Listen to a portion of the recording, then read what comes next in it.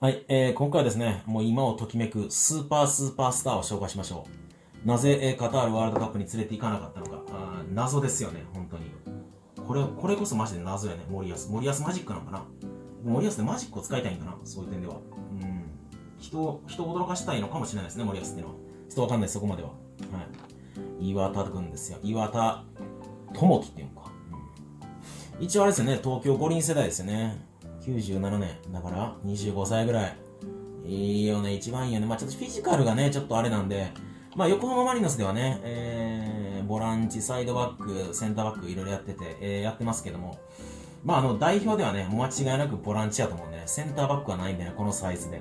うん。でもね、今シーズンはリーグ優勝し、そして J リーグチャンピオンにもなり、えー、そして、えー、今同じこと言うとね、そして、えー、J リーグ MVP、うん、俺ね、俺まだチャンスあると思うんですよ、岩田については。うん、それどういうことかっていうと、田中碧、うん、が、まあ、あの、怪我してるじゃないですか。で、多分コンディション万全じゃないと思うんですよ。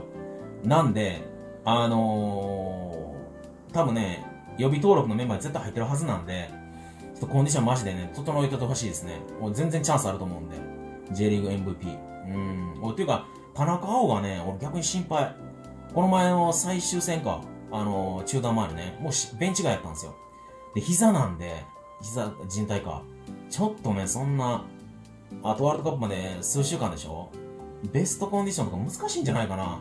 板倉は復帰しましたよね。うーん。まあ、だ板倉は徐々にコンディション上げていけば、ワンチャンものになるかなって感じするんですけど、田中碧はどうなんすかねちょっとやばくないマジで。うーん。っていう感じはしてるよね。